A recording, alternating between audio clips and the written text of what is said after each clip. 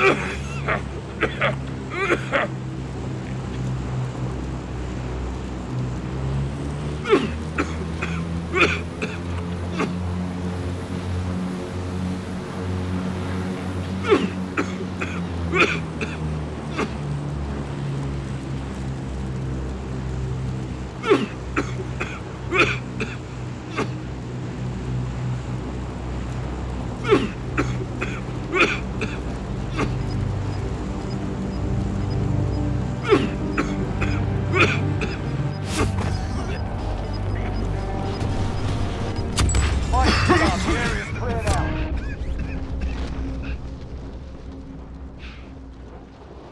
You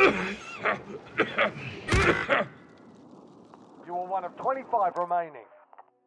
Learn from the loss. Failure's a proper teacher.